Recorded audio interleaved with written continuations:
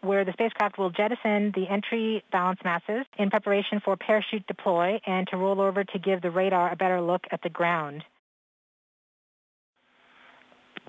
Indicates chute deploy. The navigation has confirmed that the parachute has deployed and we are seeing significant deceleration in the velocity. Our current velocity is 440 meters per second at an altitude of about 12 kilometers from the surface of Mars. Heat shield set. Perseverance has now slowed to subsonic speeds and the heat shield has been separated. This allows both the radar and the cameras to get their first look at the surface. Current velocity is 145 meters per second at an altitude of about 10 kilom- 9.5 kilometers above the surface.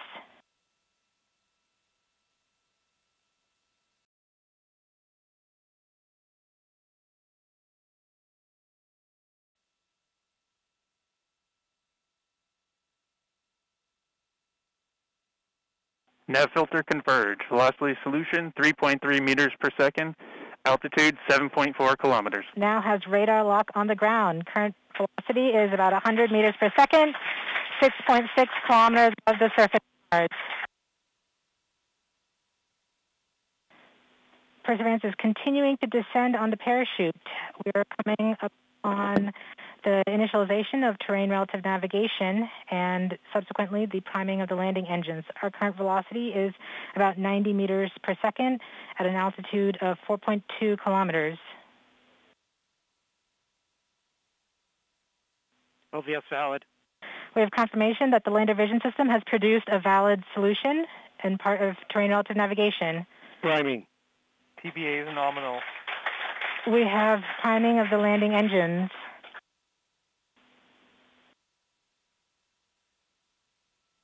Back shell set. Current velocity is 83 meters per second at about 2.6 kilometers from the surface of Mars. We have confirmation that the back shell has separated. We are currently performing the divert maneuver. Current velocity is about 75 meters per second at an altitude of about a kilometer off the surface of Mars. TRN Safety Bravo. We have completed our terrain relative navigation. Current speed is about 30 meters per second, altitude of about 300 meters off the surface of Mars.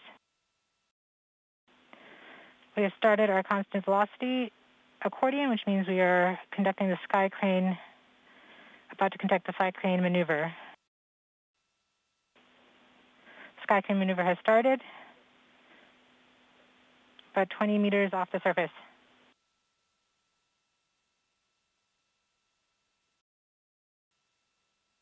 We're getting signals from MRO. Tango Delta. Touchdown confirmed. Perseverance safely on the surface of Mars, ready to begin seeking the signs of past life.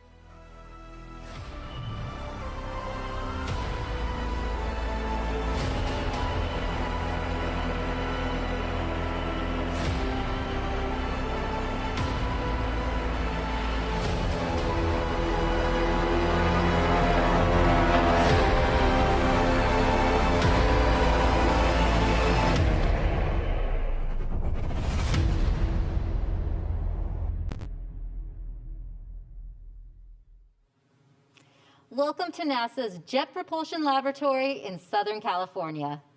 NASA's Ingenuity Mars helicopter hitched a ride to the Red Planet on the Mars 2020 Perseverance rover, which landed in Jezero Crater on February 18th. Now, Ingenuity is getting ready to attempt the first powered, controlled flight on another planet. Today, we will update you on the helicopter's operations and what to expect from its first flight, currently scheduled for Sunday, April 11th. I'm your host, Cynthia Leon. To talk us about today's flight is Thomas NASA Associate Administrator for Science, Mimi Aung, Ingenuity Project Manager, Tim Canham, welcome to Ingenuity Operations Lead, Amy Quon, Ingenuity Chamber Test Engineer, Elsa Jensen, Mastcam Z Uplink Operations Lead for Malin Space Science Systems. For anyone watching who'd like to submit a question, you can do so by using the Mars helicopter hashtag. Our phone lines are now open to the media. You can ask a question by pressing star one and enter the queue. To start, I'd like to welcome Thomas Zurbuchen, who will tell us about the importance of technology demonstrations like Ingenuity. Thanks for getting us started, Thomas. Thanks so much, Raquel. I want to take you back at 10:30 in the morning on a cool December morning in Kitty Hawk, North Carolina. History was made. It took 12 seconds to make history.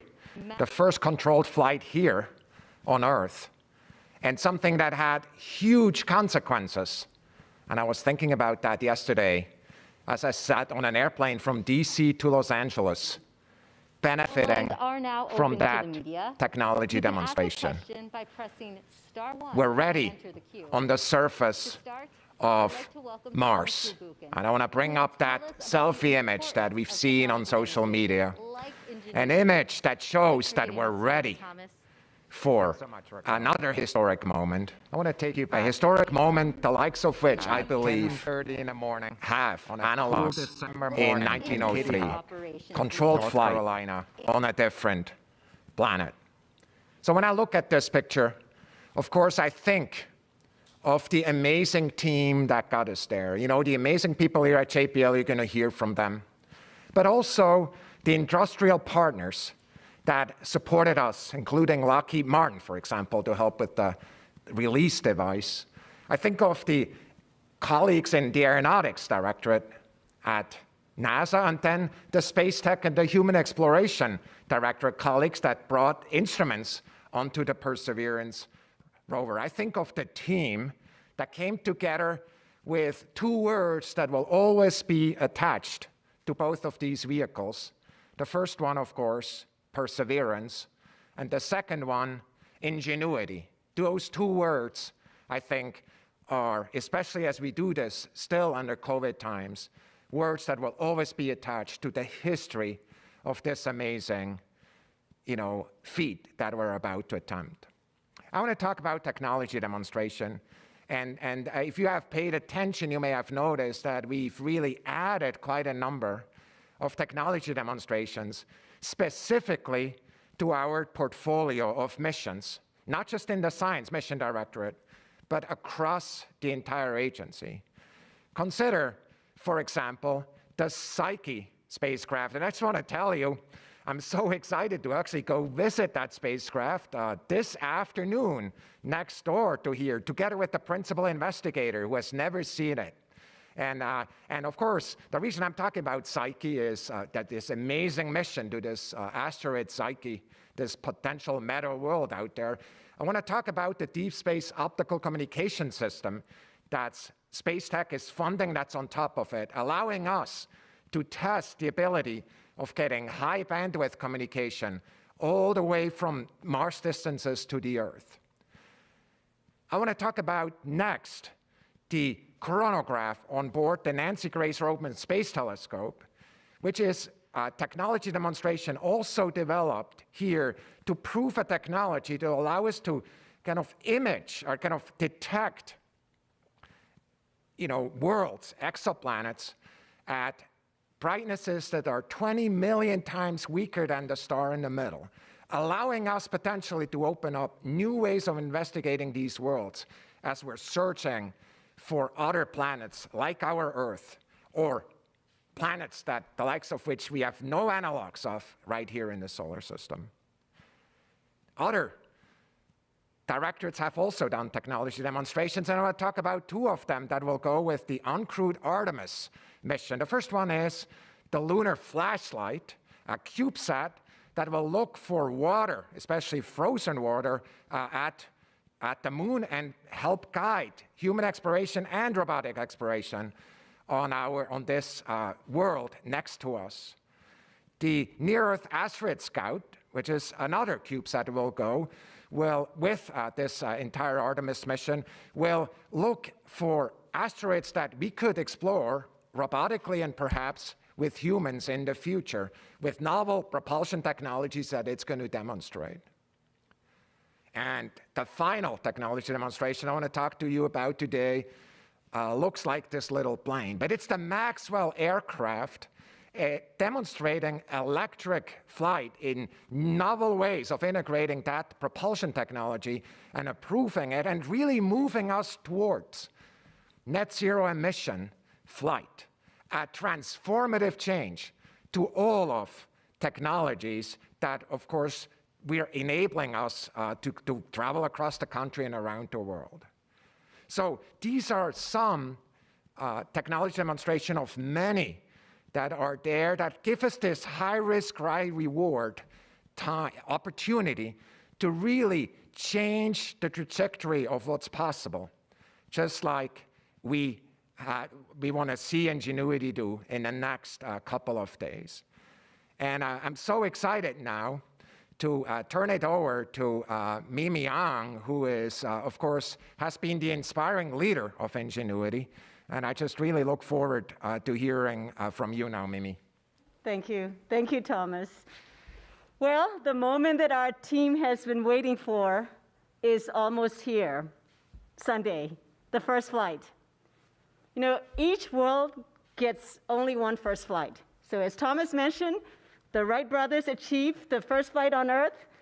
Ingenuity is poised to go for being the first for Mars. It's going to be a flight experiment. Flight experiments are as old as flying, right? So the Wright brothers' uh, first successful control flight, uh, powered control flight, was a flight experiment. Uh, next picture, please.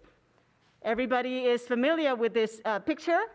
And uh, that was uh, Wilbur Wright uh, performing this flight successfully on December 17, 1903. Few people know that that wasn't his first attempt.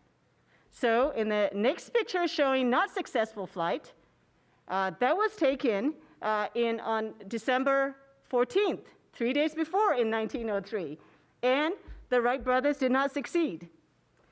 Well, history tells us that uh, the, uh, uh, Orville and Wilbur took this setback as like true engineers, went back, looked at the data, reviewed the data, confirmed that their fundamental understanding of flying was correct, make the tweaks, went for it again, and succeeded. I love this picture because it's truly a flight experiment. And in fact, um, that night uh, after the failure, uh, Wilbur wrote that there is now no question of final success. So they knew, he knew that they had nailed the fundamental understanding. And, you know, we have to test to advance. And that is what uh, building first of a kind systems and flight experiments are all about. Design, test, learn from the design, adjust the design, test, repeat until success. And so, uh, same with Ingenuity, Mars helicopter. We started with the fundamental question really serious question of is it really possible, whether it's possible to fly a helicopter on Mars? And it's challenging for many different reasons. For most important of all, the atmosphere at Mars is extremely thin, right? It's 1% compared to the atmosphere we have on Earth. And it is very cold at night. The vehicle we send there has to survive cold nights on its own. It has to charge itself and the winds are new to us. On top of it all, this flight experiment that we are performing at Mars has to be operated from back here on Earth. All right, so we took on, we started with the analysis that showed how much we can lift, and then we took systematic, incremental design, test, and feed in to the next level of designing and test. And from showing the capability of lift with a prototype vehicle in simulated Mars atmospheric um, you know, uh, environment in the 25-foot chamber here at JPL, uh, we showed lift. From then on, we went to show that we can build, uh, we, we demonstrated first full flight controlled, uh, control flight, power flight in our chamber in 2016. We went on to then develop the full up model that is needed, full the system to need to fly a test at Mars, and thus we call it the engineering development model. We demonstrated full success test flight. We flew it successfully in our chamber in 2018, and then we built Ingenuity, uh, which we flew in our chamber in uh, 2019. So this is the result. The picture you see is a close-up photo of uh, Ingenuity Mars helicopter taken very shortly before we packed it to be shipped to Florida to be integrated onto Perseverance rover. Thomas, actually, you were in the lab visiting us the day this photo was taken. So this is one of my four favorite pictures uh, on this, um, on this uh, project. So this little four-pound vehicle, the vehicle that you're seeing is four pound, to date, as we speak, has been surviving on its own. The cold nights, the temperatures there get down to minus 90 degrees centigrades, like minus 130 degrees Fahrenheit. It's been surviving its own. It has been successfully charging. It's recharging its battery during the day. It has been communicating to its base station that resides on the rover, ultimately exchanging information with us. And we have fully confirmed that it has enough energy and power to perform this flight at Mars. And the flight at Mars is high power. Peak powers exceed 350 watts. So the vehicle is set, and the last time Ingenuity flew was here at J JPL in the 25-foot chamber with us, with our team. And at that time, we said, you know, next time Ingenuity flies, it will be at Mars. Next, please. Next is a picture of our team. Oh, there it is uh, at Mars.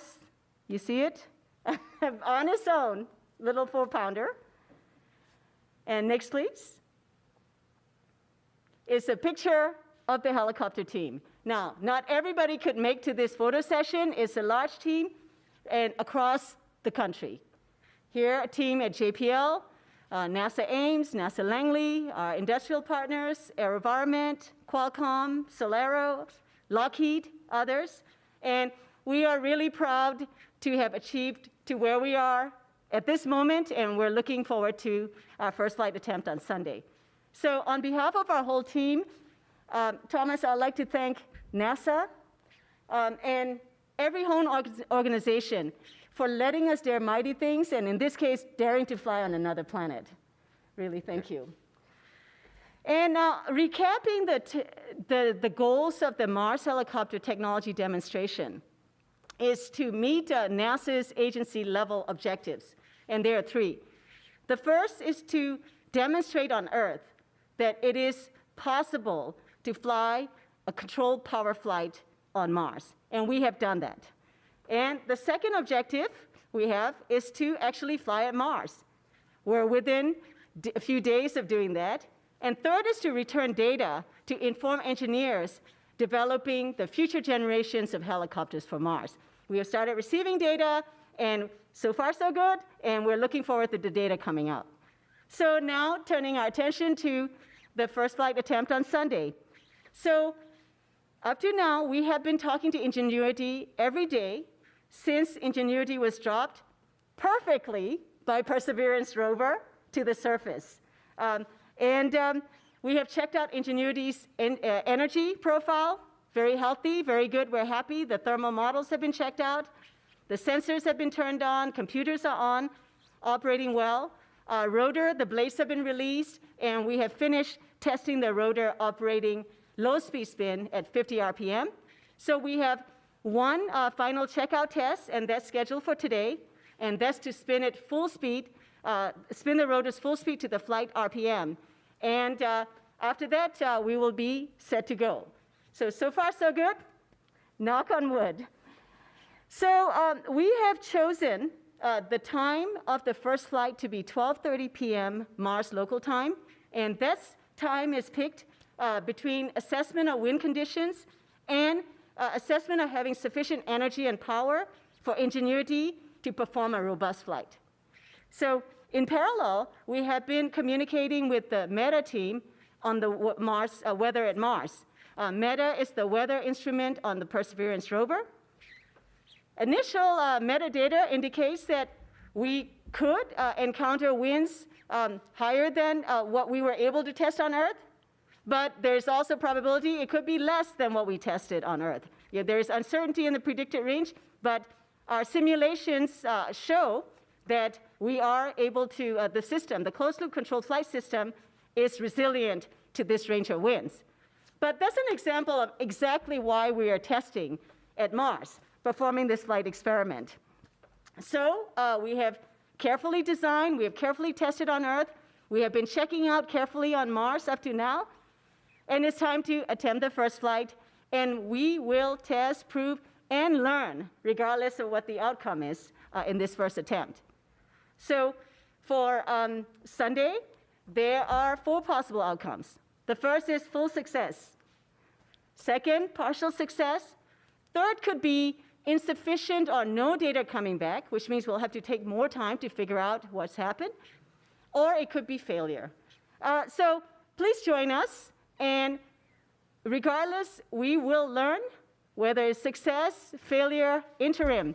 But one thing is for sure you know, we have done everything we can, and if we don't make that first attempt, for sure we will not make progress forward. So, with that, to describe more of what's coming up, I'd like to hand it over to Tim Canham. Well, thank you, Mimi. And the team, of course, is very excited to be looking forward to this first flight. You know, we've has, we have spent the last year planning and practicing and and uh, understanding what we need to do to do the first flight. And of course, the team was very excited for Perseverance gently landing us on the surface. We looked for a site which thankfully was only 20 or 30 meters away from the Octavia Butler landing site.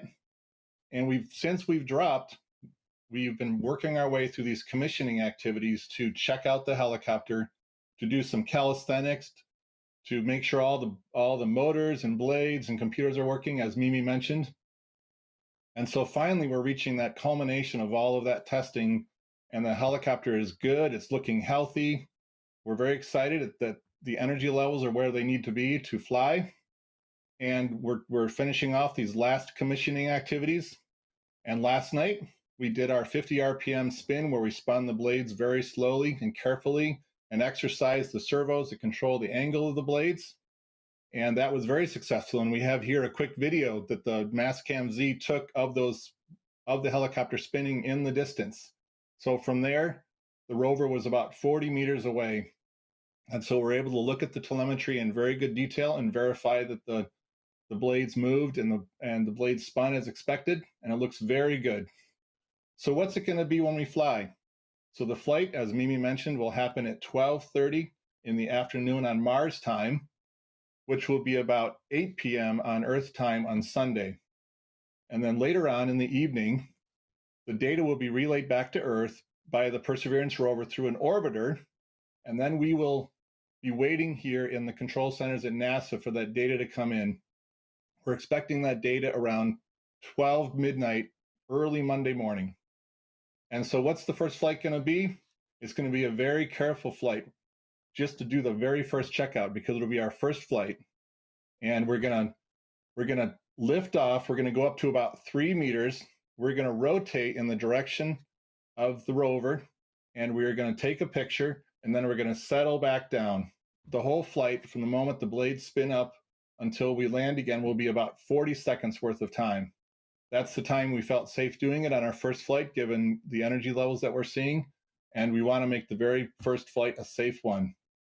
As you can see in the accompanying animation, that's what the flight will look like. So one of the nice things about the helicopter is that it has cameras on board. And we have a downward pointing black and white camera that we use to do our navigation. It's fused with other sensors like an inertial guidance sensor and an altimeter. And as we're flying, we're taking pictures 30 times a second of the surface, and the software is detecting features. And then as the helicopter moves, those features move with it, and the helicopter can do an estimate of what those what the rate and direction of the helicopter motion is. So that black and white camera is our primary camera that we use for navigation. Here is a picture that we took downward facing on the day that we dropped. You can see it's slightly overexposed, but we, we've been tuning it over the last few sols to get better pictures. But that's really the view, what the helicopter is going to see while it's flying, and it'll pick out those features on the ground, the rocks.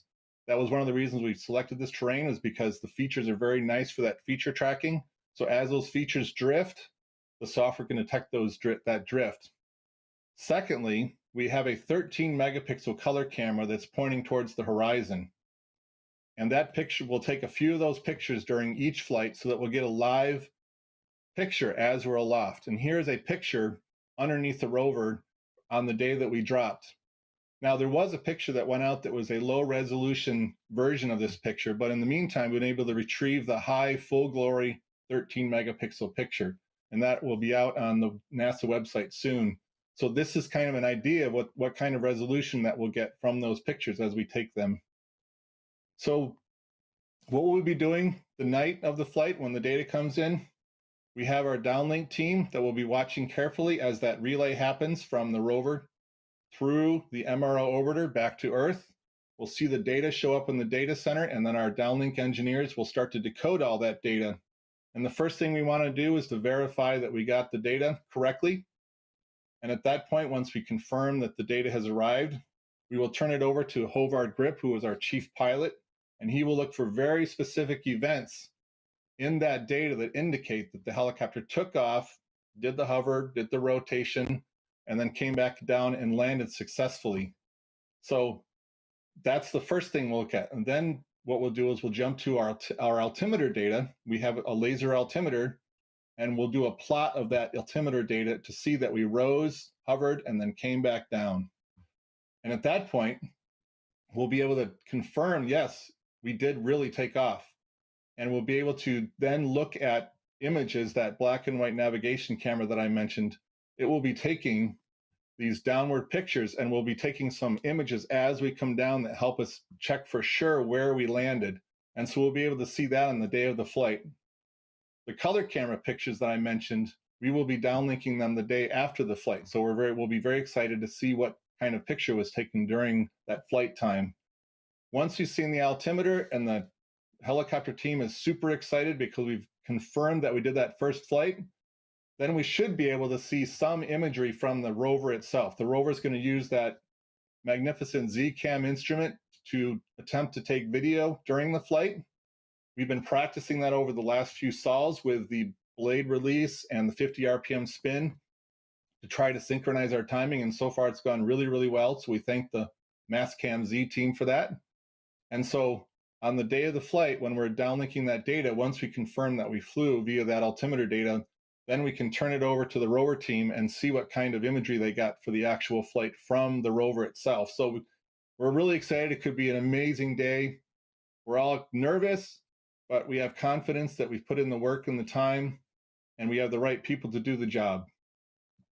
And so at this time, I want to turn it over to Amy Quon, and she can give some history on how we actually tested the helicopter for this momentous moment.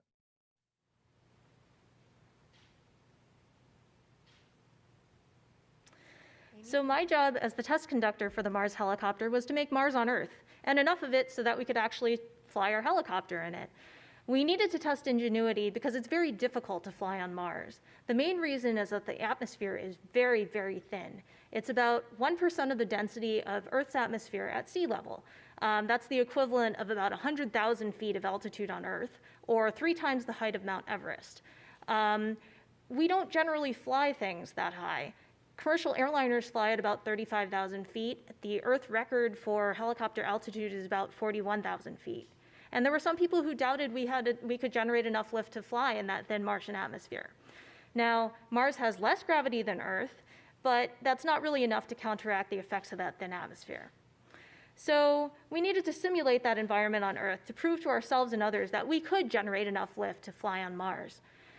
We conducted a battery of tests over the course of five years, starting in 2014.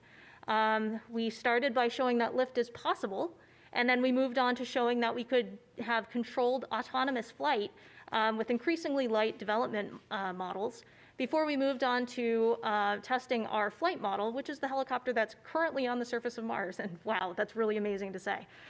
Um, for simulating Mars on Earth, we were using our 25 foot space simulator, a thermal vacuum chamber that we have here at JPL. This is a chamber that we run all of our spacecraft through before we send them off into space. For instance, uh, both Curiosity and Perseverance went through this chamber on their way to Mars, and the Voyagers went through this chamber on their way out of the solar system. Um, so for our first flight in 2014, we put a small helicopter prototype in the chamber, sucked all the air out, added a little bit of carbon dioxide back to simulate that Mars-like atmosphere. So on Mars, the atmosphere is mostly, uh, mostly consists of carbon dioxide, whereas on Earth, it's mostly consisting of nitrogen.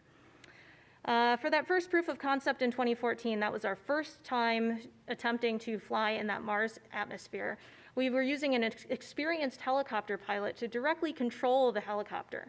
In the video, you will be able to see that we were able to hop around. Uh, video, please. So hop, hop, and then rapid unscheduled disassembly. Now, that may look like a failure, but similar to Wilbur Wright's uh, failed flights back at Kitty Hawk, we learned a whole lot.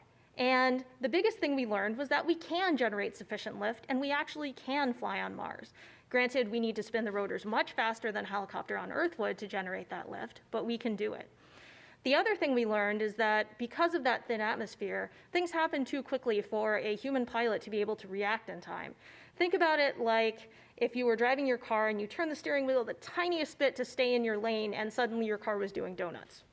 So between that and the potential distance between Earth and Mars, which means that there is a time delay between when you send an, a command on Earth and when it's received on Mars, uh, we decided that this helicopter needed to be able to fly on its own. That means we could upload a given flight profile to it, um, and then we tell it to go, but then it would have to do everything else on its own. So by 2018, we had incorporated all the data from the previous tests into testing this engineering model in our vacuum chamber. Um, can I get this video, please? You'll see that the helicopter spins up, climbs, turns, and translates all on its own. Here we have the climb to that one meter height before we turn around and then do our translation. And then by 2019, we took all the data from all our prior flights and tested the helicopter that's now on Mars. This is video from that, from that test. What you may notice is there's a string coming from the top of the helicopter. We use that to mimic gravity on Mars. So it's giving the helicopter just a slight boost so that the rotors are only lifting the Mars weight of that helicopter. Think about it like if you're helping a child on the playground cross the monkey bars and they can't quite hold on. You're holding you're just giving them a slight little boost. To successfully conduct these tests, the helicopter team had to predict how the helicopter would behave in that Martian atmosphere. Over the course of the test campaigns, the predictions got better and better based on the data from the prior tests. And we're looking forward to all the flight data coming back from Mars this weekend to tell us how accurate were our predictions and models. For instance, if we told the helicopter to climb at a certain rate, how fast did it actually climb? We'll use that to refine the models that we can put into future aerial vehicles for Mars.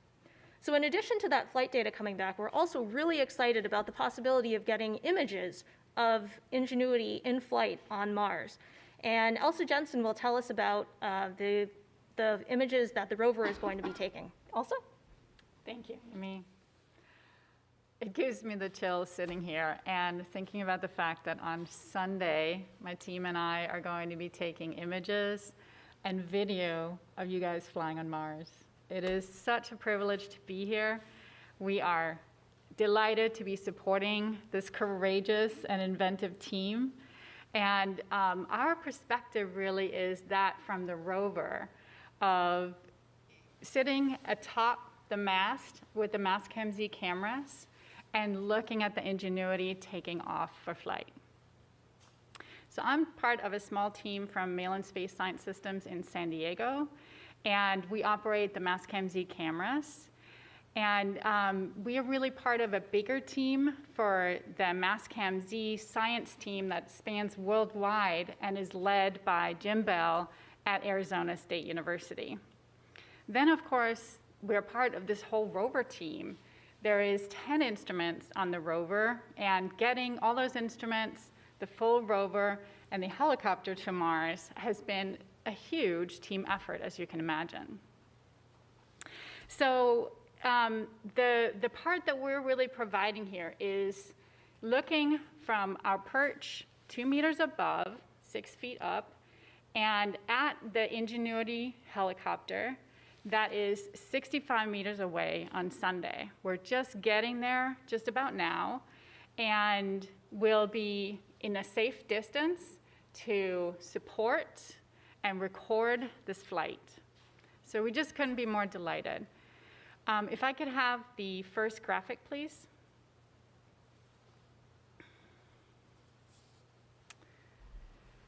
This, um, this is a selfie.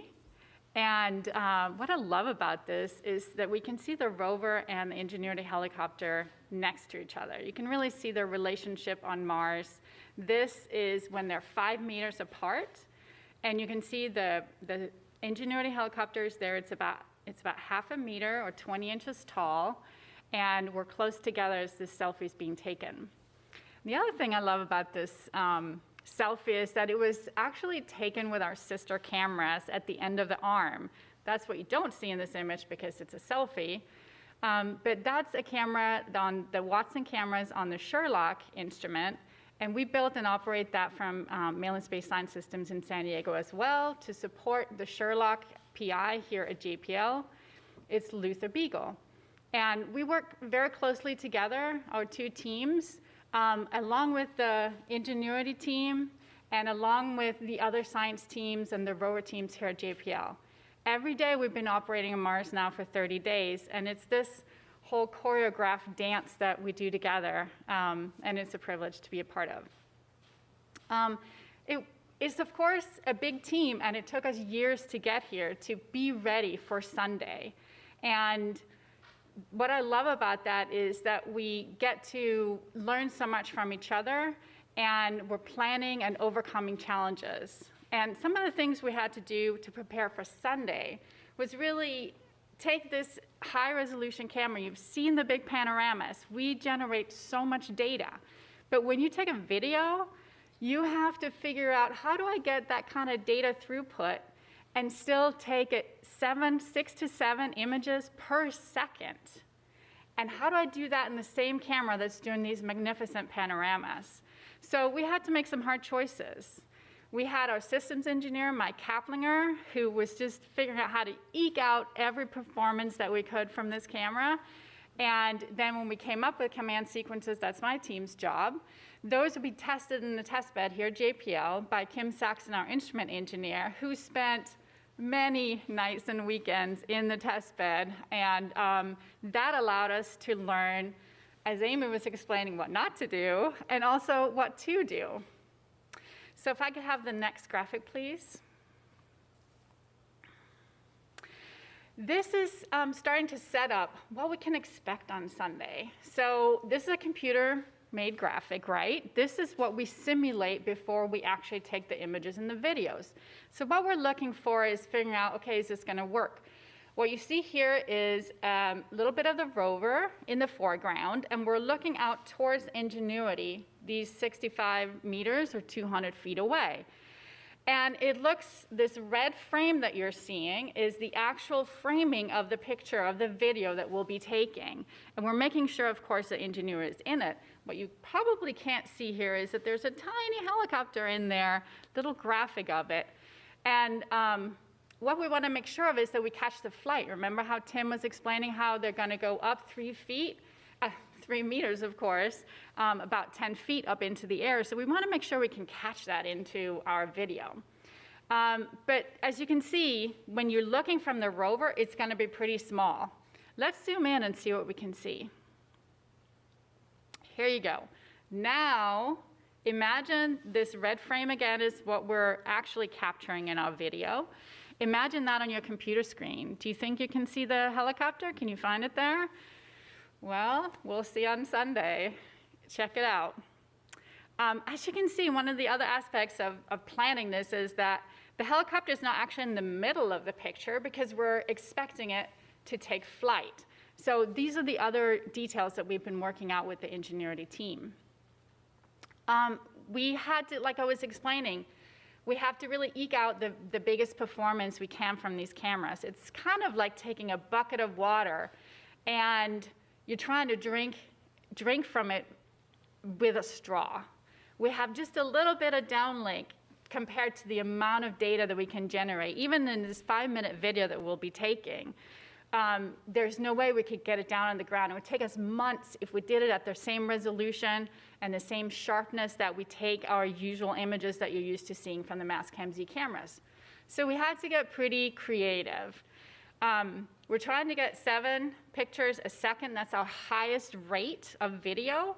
And that's what we'll be doing on Sunday. So we had to subframe it. We had to take just part of the frame, about half the frame, then we had to compress it really hard. Ooh, we don't like compression. We like to see all the details, but we have to do that for this. Otherwise, it just won't work. Um, and then another thing that we have to do is um, think about the, the um, amount of data we can get. So it would be nice to get the whole entire video down right away, but we don't have the downlink for that. So especially on Sunday, or rather Monday morning, as we're getting them really early Monday morning, um, think about the fact that we had to select a priori before even seeing the images from Mars. We had to select which video frames to pick and choose in the blind so that we could get just a few of them on Monday morning. So we get to pick about six frames out of a five minute span. They're little two and a half second snippets. And we did it for the first time last night, actually. And what Tim showed you was one of the examples uh, from the spin test. And of the six frames that we guessed, two of them hit the jackpot. So um, that's all we can do because we have about 20 seconds between our guesses. That's what we're doing so that it can span more time. Um, so we were just ecstatic that we actually hit the jackpot the first time. Now, on Sunday, like Mimi and Amy were explaining, we're gonna um, do our very best to do the same predicting, um, and hopefully you'll see a few snippets. Regardless of whether we hit the jackpot that first time, we'll definitely get some images, and um, we'll also, over the next couple of days, we'll get all of the video down. We'll get it first in lower resolution and then in higher resolution. Um, so what I want you to imagine also is that we actually have two different ways of taking video at the same time. So this image here, which actually this mosaic was created just last night with the images that came in by Jim Bell and um, RPI, and he made a mosaic of this. It's actually a mosaic. You can't see it because it's very well done. But this is kind of the close-up view. This is our highest resolution camera. This is the most zoomed in with the zoom cameras we can do. And we're doing that with the left camera when we're taking the video. And that's great. You know, we'll see as much detail as we can with the compression that I mentioned, so keep that in mind. But Ingenuity will actually fly right out of the frame if we only took images like this. So with the other camera, the right camera, if I can have the next graphic, please. So compare those two images and see that then the right camera would look at this. We're having the most zoomed out view that we can. Um, it's going to be with a 34 millimeter zoom level. And so one is at 110 and one is at 34 millimeters. And we're taking those simultaneously so that with this more zoomed out view, we won't see as much detail, but we will hopefully, that's our prediction, is that we'll catch the whole flight with just the one frame. It would be nice if we could track it with the, with the antenna, but we're not allowed to do that because there could be interference between the different components if we did that. So we're gonna stay completely safe. We are gonna have a zoomed out and a zoomed in view. And then the first downlink we're gonna do, like I said, we're gonna try to hit the jackpot with our best estimate of how to catch just a little bit of the zoomed out view. We thought that would be best because if, if it's already flying as we're catching it, we could um, have the best chance of giving you some great video on Sunday, Monday morning. All right. So um, just want to set expectations. This is really hard. We have practiced it, like Tim explained, um, between the Heli team and the Mastcam Z team and the rover team. We've been um, doing really well in these tests this week, actually. So we hope everything will um, go well on Sunday. But we know there'll be surprises. That's what we train for. That's what we test for. There will be surprises, and you will be learning about them right at the same time that we will. So let's all get the popcorn, sit in front of our seats on Sunday, Monday morning, and let's see Ingenuity take flight. I'm so excited. We're just delighted to be here with you. Thank you for having us come along. We're going to be there supporting you from the rover, big sisters watching, and uh, let's go fly. Back to you, Raquel. Thank you, Elsa, and thank you to our panelists. We are now ready to take media questions. Remember to press star one to get put in the queue, and please direct your questions to one of the panelists. And we're also taking questions through the Mars helicopter hashtag. Up first on the phone lines is Chris Davenport with the Washington Post. Hey guys, thanks for taking my question. Can you hear me? Yes, we can. Great. Uh, I wonder if someone there, maybe uh, Mimi or Tim, can just talk about the rotor blades specifically and how they're able to generate uh, lift in that thin Martian atmosphere. I'm curious how long each of the four blades are, and also how does the counter rotation work to um, allow lift, and then just generally how big of a challenge is it to fly a vehicle given the thin Martian atmosphere? Thanks so much. Sure, uh, I can take the first cut at this. So yeah, the blades are uh, 1.2 meter tip to tip, and they are two pairs, right, counter rotating, and the blade uh, itself, the shape, the, the blade distribution, the chord distribution, the twist is carefully modeled.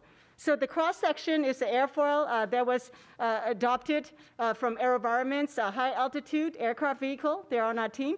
We took that cross uh, cut airfoil, and then it was optimized in terms of how the blade would be shaped by uh, CFD analysis and simulations at Ames and Langley.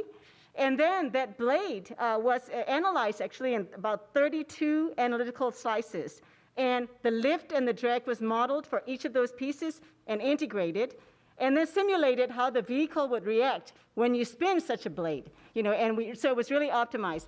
Taking from that dynamic prediction of how the vehicle would react when you spin, then Håvard Grip's, the JPL team, um, came back and then designed a closed loop control system around it to make sure that we sample fast enough and send the controls back to control the blade uh, pitch fast enough. Like it turns out it takes hundreds, about four, 500 times per second to uh, design the closed loop control. So yes, absolutely, those blades are not uh, something off the shelf, really fine, well fine-tuned to maximize the lift that we can generate in such a thin atmosphere. And one of the things that we did learn right off the bat, as you saw in the video that Amy showed, was the dynamics of spinning a blade in this thin atmosphere of Mars, this uh, Reynolds numbers and Mach number pair, right, so very specific to Mars, the reaction is very different from what we get on Earth. Great, thank you. And up next, we have Marina Koren from The Atlantic. Hi, everybody. Um, this is a question, I think, for Mimi or Tim. Um, so once you reach the end of your month of operations and Perseverance drives away, what happens to Ingenuity? And by that I mean, will it technically be functional because it can still charge itself? How long can it remain technically alive on the surface? And has anyone considered having Percy return to visit Ingenuity someday? Oh, uh, I'll take this. The Ingenuity is a solar-powered vehicle. So therefore, there, there, are no consumables that can run out, so to speak. So that, that's one fact. But Ingenuity is also, it doesn't have a self-righting system. So if we do have a bad landing, uh, that will be the end of mission. So uh, our estimate is that the lifetime will be determined by how well it lands, pretty much. So we have 30 valuable days uh, to do these experiment at Mars, and we are going to be, as Tim described, uh, taking a very conservative flight to really nail the first flight. And after that, we'll be taking bolder and bolder flights. We'll be going higher, further, and in fact, uh, by, by the fifth flight, if we get there that far, uh, we are going to take very bold flights and uh, take high risk. And probabilities are we, uh, it would be unlikely to land safely because we'll start going into unsurveyed areas. Um, and, and after that, after 30 days, uh, even if Ingenuity is surviving, you know, this increasing risk that we do plan to take because we want to stretch and understand the capability of this little vehicle, uh, even if it survives, is uh, we are going to turn back the key uh, uh back to uh, the rover team. Uh, Ken Farley, our project scientist for Perseverance, has been so generous. gave us 30 invaluable days on Mars, and we will, um, you know, engineer Perseverance really must go on to the primary mission that they're on. So that's the plan. Thomas, would you also like to answer yeah. the question? I just wanted to add kind of uh, the, the, the view on this, that, and very much in support of what Mimi just said. Uh, I just want to go back to Sojourner and remind everybody that uh, Sojourner also was a tech demonstration. A tech demonstration, by the way, without which we could not imagine Perseverance. We could not imagine Mars sample return, which was really uh, pioneered with this. And uh, for me, uh, you know, what Sojourner did, did exactly what Mimi just said, which is if you want aggressively punch out the space in which it can operate, taking risks, excessively larger risks.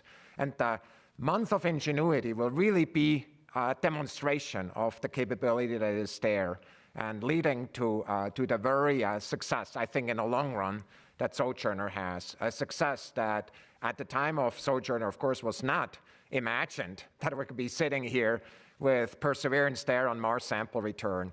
Can you only imagine what will happen after this month of ingenuity? Just two decades from now or one decade from now. Thank you for your answers. Up next is Elizabeth Howell from space.com. Hi, everyone. I think this question is for Mimi. If and when you get those first views from Ingenuity and Perseverance of the flight, what kind of feelings will it evoke in you? And also, are you planning to use Percy's microphones to record audio of the flight? All right, um, I'll give the first part, and I am going to have Tim Canham also jump in. So the, the images, uh, uh, it will be inspiring. It's really hard to imagine, uh, you know, how I'm going to feel because our team, to be frank, has never let ourselves celebrate fully uh, because we've been waiting for really this first flight on Mars. So I believe I'll be really excited to see. First and foremost, probably I'll be more excited about the black and white camera image uh, because uh, to me and a lot of majority of the team, you know, most all of the team, it's about this engineering technology demonstration and getting back that engineering data on how well did it fly because to me, it is about the future. It is about adding that aerial dimension. And do we model right? Is our analysis right?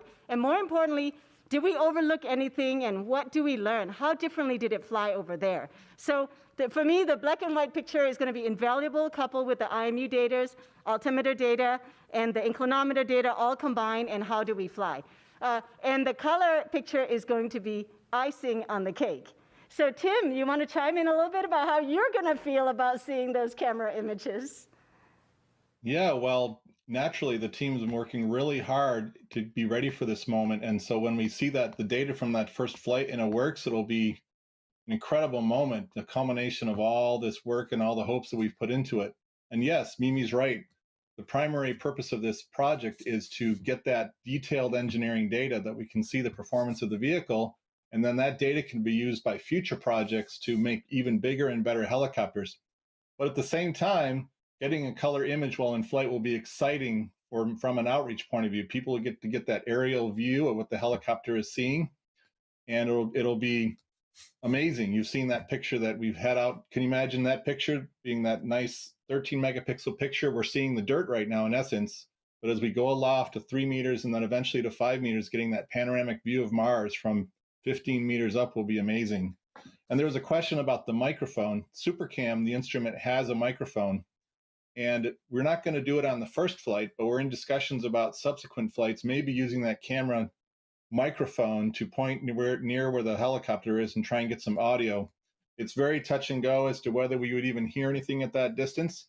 But uh, as I said, discussions are ongoing. We might give it a try. Worst, worst comes to worst, we'll get a lot of nothing, but who knows? Maybe we'll catch the sound of the helicopter lifting off.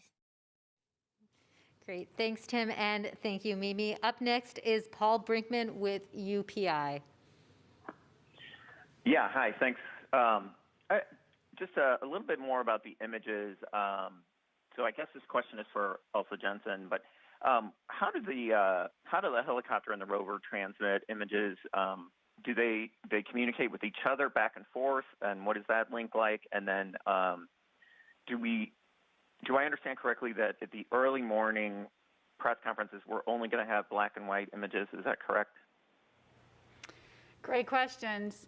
There's actually two parts to what you're asking. So the part that we're doing from the Mastcam Z side, you know, again, perched up at the top of the rover, we're going to be looking with our Mastcam Z cameras. They're in color. We're going to use the color filters, the RGB for that. So all of our images and our video will be in color. Now, that imagery will be sent from the rover to the orbiter, back to Earth, so there's that whole path. And then the other part of what you're asking, I'll pass on to Tim because that has to do with the images coming from Ingenuity, and the helicopter team is taking those images. So, Tim, do you want to address that part? Sure, and we, in many ways, we follow a similar similar path as the Mastcam Z. The helicopter does its flights, and it's taking this detailed data during the flight, and then we land. But right after the flight, we're gonna we have used up a lot of our battery energy, so we don't have a lot of excess energy to spend time transmitting the data back to the rover. And so on that first uh, transmission day, the first downlink day, we're going to concentrate on getting back that detailed engineering data so that the team can analyze what happened. And part of that engineering data is that black and white downward pointing uh, camera, because that's used by the team to relocalize the helicopter to figure out exactly where it landed. But the data follows a very similar path in that the helicopter has a radio link back to the rover. We have our uh, helicopter base station on the rover, which has its own storage and then that storage gets copied back to the rover and then sent down to Earth. So on that first sol, we're going to transmit those uh, those black and white images. We're going to get summary data of the flight. We don't have again the time to transmit on the radio the very detailed logs of the flight. And then we're going to let the helicopter go to sleep and recharge its batteries. On the following sol, that's when we're going to wake the helicopter back up and we're going to transmit that color image back to the rover for downlink to Earth. So that's the first time we'll see it. And then in subsequent sols, we'll be transferring more and more of that very detailed engineering data that's kind of the prize of this project and doing even deeper analysis on that.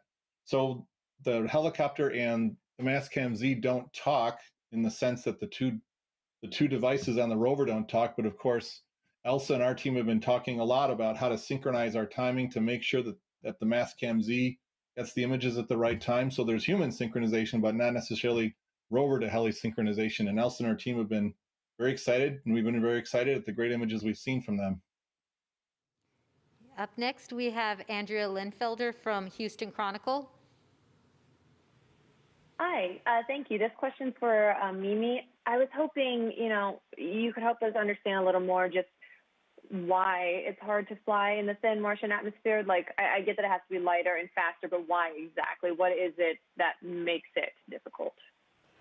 Yes, so a rotorcraft, you know, flies by, you know, generating lift, right? And by on Earth is by pushing air. So the blades push the air and the lift is generated. So on Mars, where the atmospheric density is so thin, about 1% compared to here, there are less molecules basically to push, right? And so that means that we have to compensate uh, for flying a vehicle. We have to spin so much faster uh, than we do. So if you take a four pound uh, vehicle on Earth, you don't have to spin it, you know, 2,400, 2,500 RPM that we have to spin on Mars to generate the lift. So that's the first and foremost. Just aerodynamically, it is extremely difficult to generate lift when there isn't enough, um, you know, uh, atmospheric elements uh, to, to generate lift from.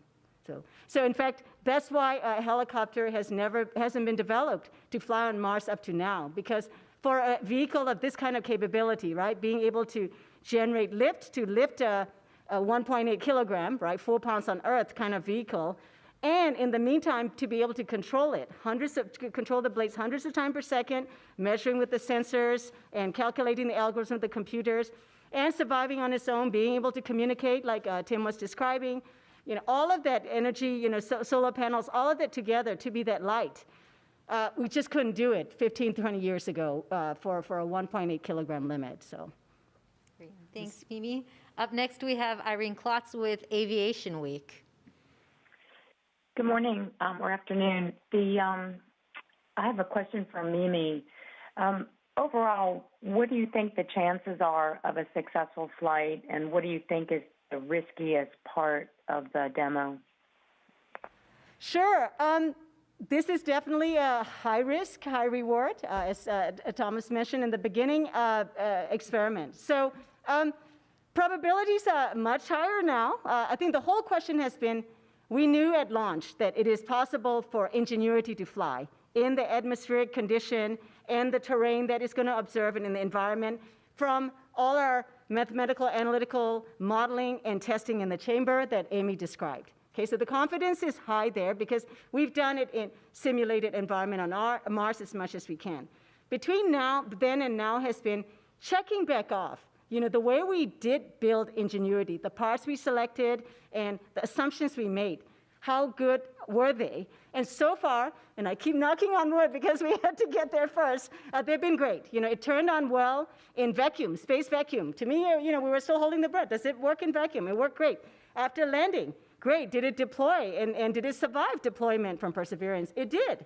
And the biggest question has been, do we have enough energy? Do we have the solar panel performance and the battery sizing correct? And how, do we estimate how much energy it took to survive the night? We have received check marks for all of them, and the last few sols has been about checking the rotor system. That did the rotor system survive the journey, and is it there the way we launched it from Earth? So far, it looks like it because you've, saw, you've seen the 50 RPM spin, and then tonight is the big one. When we spin the full speed uh, on the surface, still while on the surface, and that will ultimately check that this vehicle is there in the way that we launched it. If that is the case, then the uncertainty, the only uncertainty remain the actual environment of Mars. So the winds, and we talked a little bit about it. We've been talking to the MEDA team, cross-checking the, with the weather. So depending on the wind, and um, uh, we, in that case, will be pretty confident. But uh, again, I want to be stay conservative. We have never let ourselves surprise, you know, celebrate. So uh, really looking forward to uh, Sunday. Great, thanks, Mimi. We have some social questions coming in as well. Um, Aaron on Facebook wants to say hi from his nine-year-old son Charlie, and Charlie wants to know, do you have a Mars helicopter 2.0 invented? Thomas, would you like to? So, hey, hi back.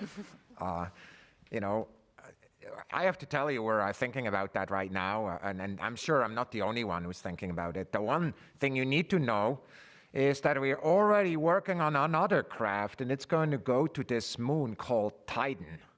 Titan is actually different than Mars because of the fact that actually, if you go close to the, the ground of it, it the pressure is actually higher than the pressure on Earth. So it also is a rotorcraft uh, called Dragonfly, by the way. That's what it's called. Go Google it, figure it out.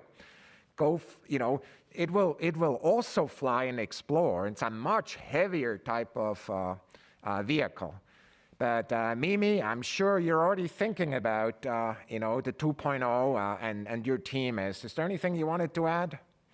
Absolutely. Uh, there is ongoing uh, research uh, with, uh, you know, led by JPL, but part of the team, JPL uh, and Ames Environment has been looking into future larger uh, vehicles. And the, the vision is, you know, we have Ingenuity 1.2 meter diameter, and future vehicles that have been sized are more three meters, three and a half meter diameter much larger, and in the 10, 15 kilogram class, able to carry payloads, you know, two kilogram level to make, uh, you know, significant exploration. So that kind of research is afoot, and yes, this is all about the future. This is a pathfinder, absolutely.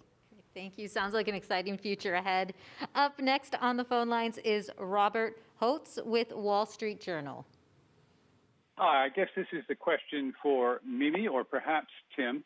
Uh, you've said that one of the one of the controlling factors for picking the time of the flight on Sunday are the wind conditions that you expect in Jezero crater, based on measurements you've been getting from MEDA, uh, the onboard uh, meteorological sensors. So I wonder if you can tell us, uh, you know, what are the winds? What's the range that you've been getting in the crater? You say that you might encounter winds higher there than you've tested for on Earth. What is the highest you've tested for on Earth? And what does a Martian wind do in terms of uh, flight control challenges that might be different than you'd experience on Earth? The wind, please. Thank you. Sure. Um, I can start, and then I'm going to let Amy fill in too on the test. So, yes, uh, Martian wind, first of all, impact um, the, the dynamics of the vehicle, right? So you, we have a closed loop control system, and it's the disturbance that we do model uh, analytically, and we like to also test by exposing to actual wind to confirm. And so, so far the MEDA uh, data is, and this is very initial data because MEDA team is uh, integrate, uh, calibrating their information. And so based on data, the uncertainty, because it's so early in the game, we have very large uncertainty. So the, the averages that uh, we have expected are, I believe, around six meters uh, per second or, or less average. But then, you know, you need to add three sigma uncertainty to it because it is a very early part of the calibration. And so if you add three sigma and the uncertainty, it could be high, uh, around the 20 meter per second range. Uh, or it could be low. I mean, it's both bounding, right? It could be much less than six meters per second, it could be in the 20 meters per second range. Uh, the average is about six meters per second or so. Uh, but we tested our system to 11 meters per second that Amy will describe. It's an art in itself, but that's for the testing. Now, we also did the simulation under Håvard Grip's uh, you know, team, uh, have simulated the closed loop control uh, with winds up to uh, you know, close to 30 meters per second, and the closed loop control has margin to uh, fight and be resilient uh, towards the higher perturbation than what we were able to test. So um, the, at Earth, you can only test so much, and our limit has been how to set it up. So Amy, I'm gonna hand it to, over to you on, Amy was actually in charge of this wind test, so. So we did a wind test as part of our, our uh, battery of tests in that 25-foot space simulator.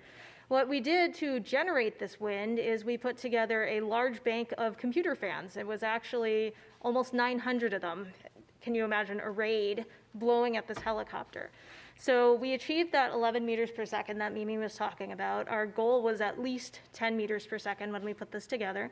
So we were able to test the controller against that speed, which I believe is above the average that Mimi uh, quoted, but not necessarily with the three sigma added. Great. And up next is Lisa Grossman with Science News.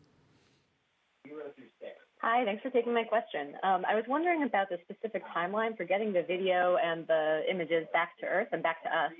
And I was also wondering why there's that checkerboard pattern on the rotor blade.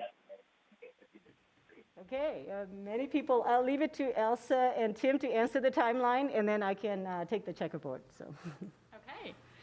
Yeah, I will start out, and um, Tim, you can add some more detail. We will be getting the first video snippets that I described. We're, like I mentioned, we were able to pick about somewhere between six and 10, depending on our um, results tonight. Um, we'll be picking those out. Each of those snippets are two and a half seconds, and we have to space them about 20 seconds apart over the range of when we think the flight could happen.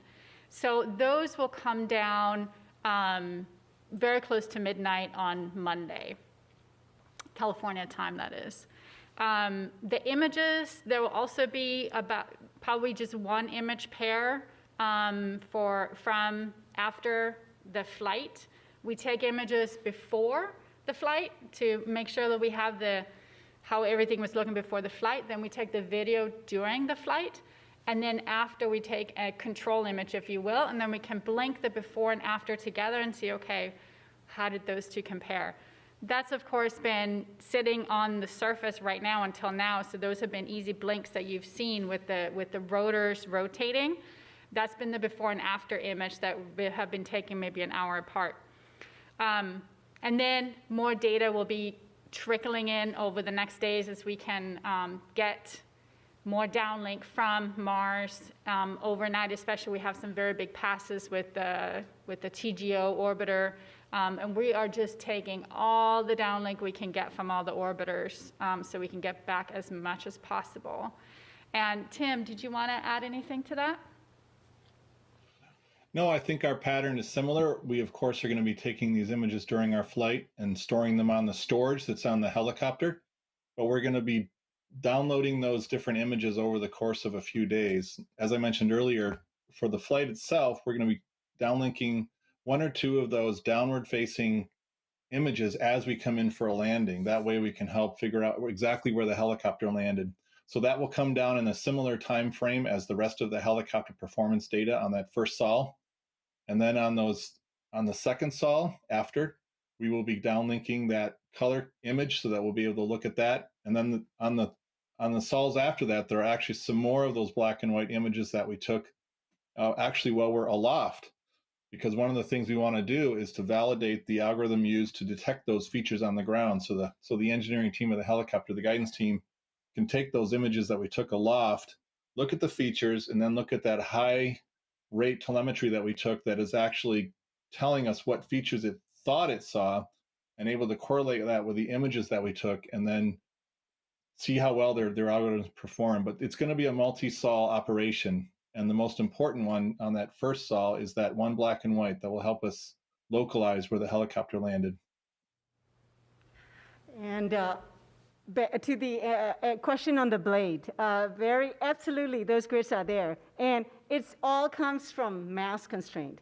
For 1.8 kilograms is 1,800 grams. With so many components, every bit mattered, right? So uh, the blades themselves are, I believe, about 35 grams. It's really, really light. They just look big and long, but they're really light. And the way it was built was a foam core in the middle with carbon fiber layup uh, so that we could have both the lightweight, but still the strength uh, to be able to push. Thin, thin as the atmosphere is, you're still pushing 2,400, 2,500 RPM, right? And so it has to be strong. And also from the controls perspective for modeling and testing that we talk about, you know, to do in the chamber, it had to also be stiff so that we really had a way to confirm our models before we actually even tried a test flight in the chamber. So for stiffness, strength, and lightweight. The carbon fiber layup uh, was used uh, also above the foam and is cross patterned to give it the most strength. So that's the reason for the cross pattern that you're seeing. Instead of going fibers in parallel, the cross pattern really gives it additional strength. And uh, AeroVironment did a fantastic job, you know, building this blade. So first, it was carefully designed with the twist chord distribution, and then fabricated fabulously with these requirements. Thank you. And up next is Alexandra Witze with Nature Magazine. Hi, I just want to follow up real briefly on Lisa's question about the timing. Um, there's a difference between images and video, downlinking and images and video being released to the public. Do we anticipate getting any images released to the public prior to that 8 a.m. press conference on Monday in California? So, so this is Thomas. I'm going to start and I'm going to kick it over. Uh, our intent is to keep the pipeline open just the way we have in the past. So, so basically, the images as they come down, they will go into the pipeline and they'll they'll be uh, they'll be open. Uh, there may be some technical reasons uh, that something is slightly delayed, and I'll open it up for you uh, to add uh, to that. But the principle is that we're you know after uh, you know, I hope many will, of you will join us uh, as we uh, on nasa.gov slash live as we uh, kind of join the team. Uh, and uh, during this historic moment, there will be some images there. The images will come in, and uh, by the time we do the press conference, uh, the we'll uh, you know we'll put together the best way we know how. But but I'm sure others will try themselves with the images that are there. The pipeline will be open, Alex. Go ahead if anybody wants to add anything. Yes, I'll just add a, few snippets to that, which is our team is going to be pouncing on the data as it comes in. You know, we are just looking at as as soon as it comes in, as soon as it starts to hit. In fact, as it comes in from the orbiters, we're already starting to look at it. And of course, our first and foremost um, priority is to make sure everything worked as expected, that the cameras are working, that everything is healthy. We do that every single day. But on this occasion especially, we're going to look for those first images post-flight to also help in the ascertaining of the success of it, and then the video snippets that we hope will um, catch part of the flight.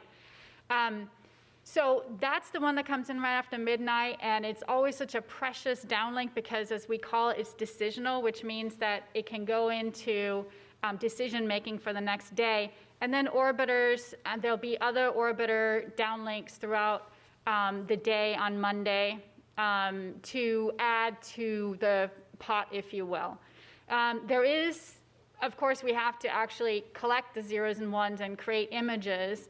So there's a few minutes of delay um, before it gets to the public website, but um, otherwise we are just trying to get it out to the public as quickly as possible. So go to the JPL Raw Images website, and um, I know that there'll also be, you know, our science team, other science team um, members, and Justin Maki at JPL um, will be standing by. He's one of our top image, um, he's actually the image scientist, and he's one of the top processors of data.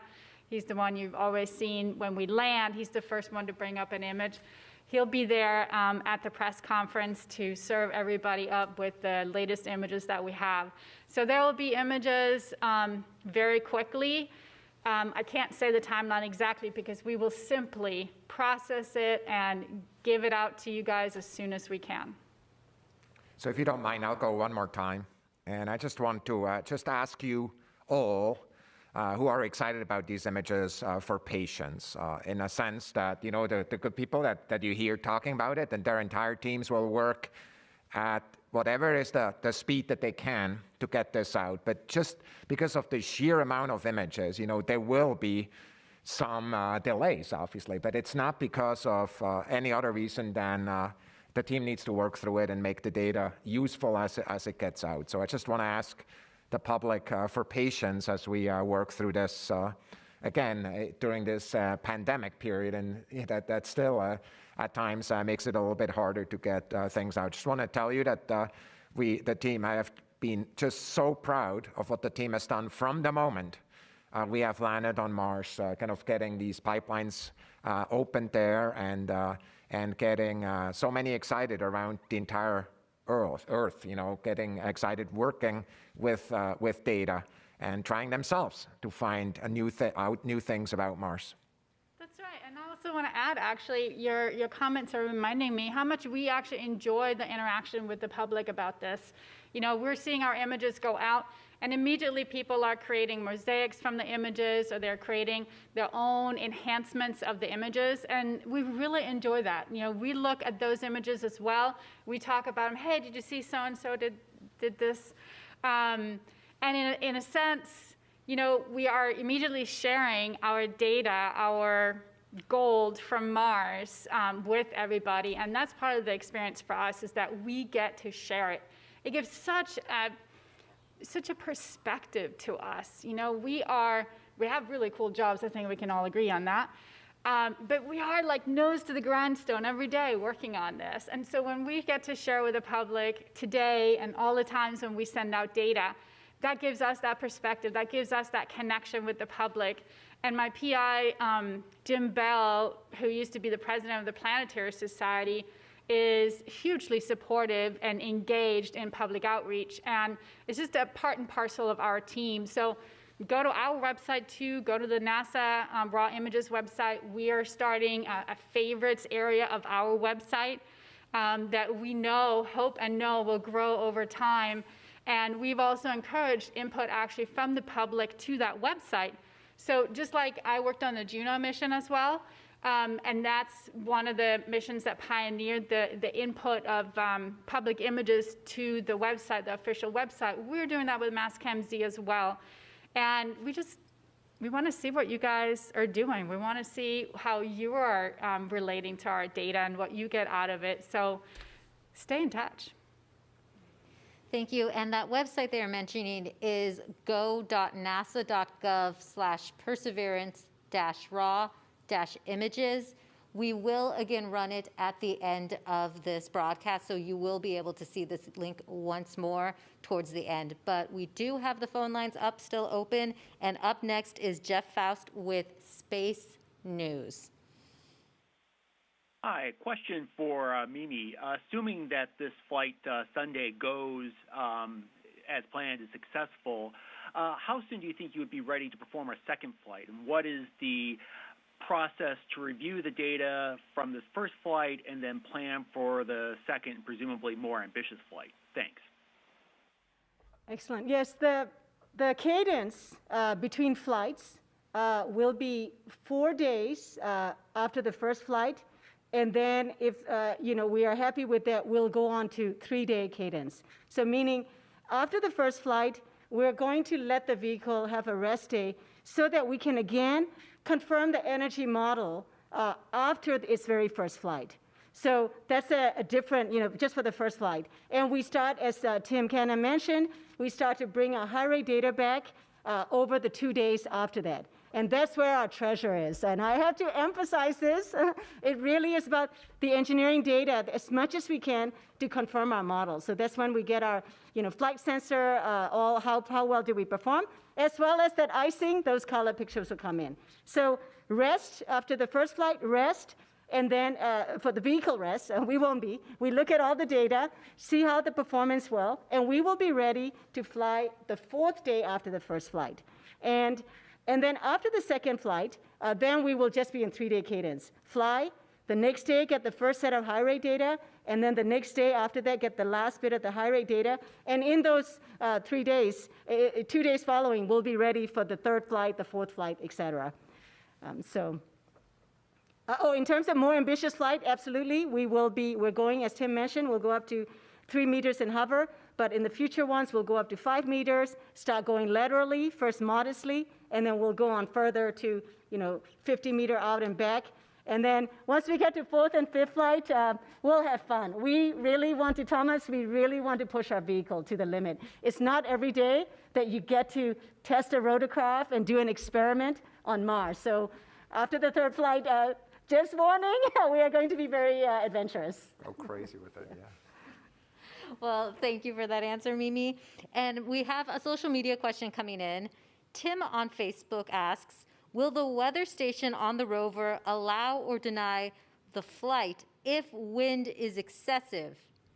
It's a question for Tim from Tim. sure. Well, hello, Tim. This is Tim. Nice to meet you. Um, so the MEDA instrument has its own data set that again follows a path where where they take they take the data and then they downlink it to Earth, and the MEDA team decodes all that data on their own. So the weather on Mars tends to be more or less the same across many sols. So when we get a weather report as a team, it's really uh, getting a history of the weather plus those wind predictions that Mimi mentioned. so because it's really these two separate teams processing their data, the weather station on the rover has no decision making process on the day of the flight to stop or allow the flight. There's no there's no connection on board the rover where the weather station can tell the helicopter you can't fly today. So that connection isn't there. It relies on the experts on the ground and both teams to decode the data and come to these reasoned uh, engineering judgments as to whether or not we should fly. Great, thank you, Tim. And we have another social media question. Javi on Facebook asks, what is the speed of sound on Mars and can the tip of the Ingenuity blades exceed this speed? Uh, Amy? Do, yeah, um, it, we are going to be flying at uh, about 0.6 Mach on, on, on Mars. And I've done this math before, but I don't remember the number. Uh, Thomas, if you remember, but if you look up, just calculate, but it will be about 0.6, 0.6 the speed of sound is how the tip speed will be. And so um, you, you can Google it. I'm sorry, I have looked it up and I just don't remember the number. So yes, please look it up. 0.6 Mach on Mars. Good question. Yeah. And, and, yes, the entire design for the how fast, you know, the upper limit on how fast we can uh, spin, right? In calculate in designing the entire system, we took the speed of sound uh, at Mars into account. Great, thanks, Mimi. We'll work on getting you those exact numbers. Up next on the phone line is Mat Kaplan from Planetary Radio. Hi, everyone. Thank you for this. Really thrilled. Looking forward to Sunday. Um, going back to uh, Thomas's comment about Dragonfly, that uh, maybe Mars and Titan don't have a lot in common, but uh, Mimi, I'm wondering if uh, you are trading information uh, with those folks, and uh, I'm sure they have high hopes for your success. Oh, uh, yes. Uh, in fact, uh, Michael Ryschkewitsch, who leads the space division in APL, where um, Dragonfly is being developed, Michael Ryschkewitsch was our independent review team chair throughout the lifetime of Ingenuity um, Mars helicopter development over the years. So, yes, and you know, while um, Dragonfly is flying in the thicker atmosphere, right? So it's a different kind of vehicle, it's heavier. Uh, at Mars, it's all about being light uh, and you know more autonomous, and it's, it's, it's, a different kind of challenge. However, uh, where we can uh, learn from each other is uh, with the, being the first rotorcraft and a flying vehicle on another planet, or in, in the case, you know, the, at around a moon with atmosphere, but not at Earth. It has been a challenge that Amy uh, described, and I think, and described more how do you test this vehicle, right? So you have the fundamental models. Yes, you spin, you generate lift, and control fast enough, you can fly. Easier said than done, right? How do we go about testing it? And we've had incremental uh, steps in how do you spin it, how do you, you know, measure the force, check the torque cancellation. I think that methodology that we've had to invent in parallel to inventing a first aerial vehicle for a planetary exploration uh, that will be very much applicable. And uh, Michael Ryschkewitsch uh, uh, is very familiar, and I'm sure we'll be interacting further as they go into the V&V phase. We've had initial conversations as well. Thank you. And up next on the phone lines is Dan Sweet from Rotor Magazine. Uh, good afternoon. I appreciate the enthusiasm each of you are showing for your segments of the mission. I can't even imagine what this is like for you. My question is for Mimi, Tim, or Amy. Um, you've developed some pretty interesting new technology for Ingenuity, including the high altitude flight, the high rotor speed, and the feature tracking camera for navigation. How do you anticipate this technology might translate to advanced air mobility or, or urban air mobility flight that's currently being developed uh, here on Earth? Sure. Um, well, um, actually, this is a great question for ARMD's uh, Revolutionary Vertical Lift Technology Program uh, manager, uh, Susan Gorton. Of course, she's not here, but um, ARMD uh, really participated in the fundamental, you know, flying in a high altitude, this, uh, you know, very, very thin atmosphere and uh, increment. And, and one of the overlap on Earth would be for high altitude flight. But I mean, Susan would be able to answer this question. You know, for example, flying in Himalayas, right? We can't, we can't get above uh, certain heights. And so introducing this kind of, in a very thin, uh, you know, high, high Mach number, right, operation in this very thin atmosphere, that regime. So it would be applicable to very high altitude applications. Uh, that would be one example. Uh, but really, uh, this is a great answer for ARMD. Uh, yeah, I think that they, they should really answer that. But I just want to tell you, uh, I've been dreaming about a movie taken of one of these amazingly high mountains that has been so many stories have been about, and actually seeing that that kind of drone flying up that cliff. You know, I just I've been dreaming about this, and and uh, and I'm sure there's entrepreneurs, innovators out there who are thinking about this uh, together with, of course, the the work that we're doing within the government. You know, they, once this test, you know, uh, hopefully is successful there, there are new applications that are there, uh, also here on Earth, applications that we need to think of now, applications that nobody else really made a reality as of yet. All right, thank you so much for all your questions. We unfortunately can't answer all the media questions on air. For those of you with additional questions, please call JPL's digital news and media office. We'll also continue to answer social media questions online. And thank you all for all your questions coming in. And thank you to our panelists for joining us today. Ingenuity will attempt its first powered controlled flight no earlier than April 11th. If the helicopter flies on April 11th, a live stream where you can watch Ingenuity engineers analyze their first data from that test flight. It will begin at 12:30 a.m. Pacific time on April 12th, an early morning there. For the latest helicopter schedule, visit go.nasa.gov slash ingenuity. There's a watch online section there where you can get broadcast updates. And to learn more about the Perseverance rover, visit mars.nasa.gov slash where the spacecraft will jettison the entry like balance masses in preparation for parachute deploy and to roll over to give the radar a better look at the ground. go.nasa.gov slash perseverance indicate chute deploy.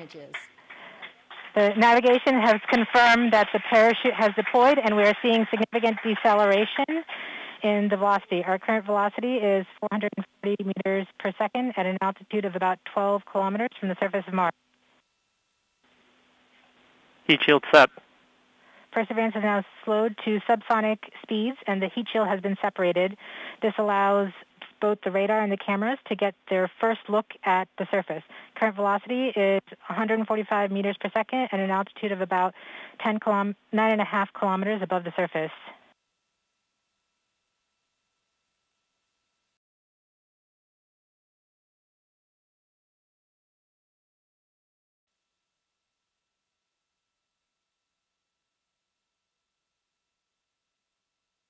Filter converge. Velocity solution 3.3 meters per second.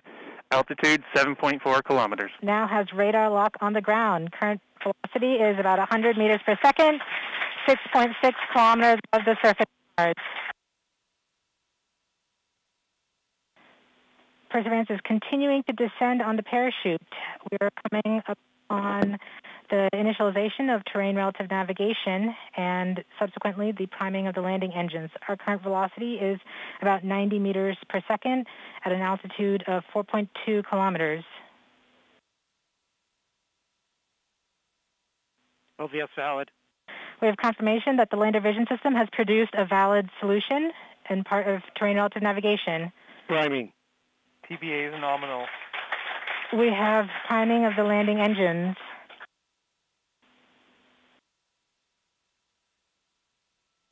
Back shell set. Current velocity is 83 meters per second at about 2.6 kilometers from the surface of Mars.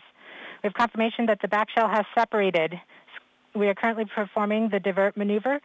Current velocity is about 75 meters per second at an altitude of about a kilometer off the surface of Mars. TRN Safety Bravo. We have completed our terrain relative navigation. Current speed is about 30 meters per second, altitude of about 300 meters off the surface of Mars. We have started our constant velocity accordion, which means we are conducting the sky crane, about to conduct the sky crane maneuver. Sky crane maneuver has started, about 20 meters off the surface.